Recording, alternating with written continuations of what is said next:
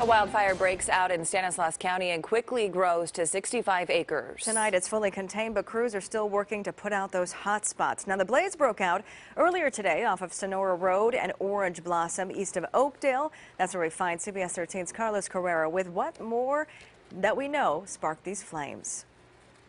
And good afternoon to you. We're in East Oakdale here in Stanislaus County where firefighters quickly put out a grass fire that started right before 4 o'clock this afternoon. The fire is contained right now. It burned 65 acres. The crew was battling the fire off Sonora Road and Orange Blossom. The good news is no one was hurt, no structures were lost. We're told by firefighters a power washer being used in the area is to blame.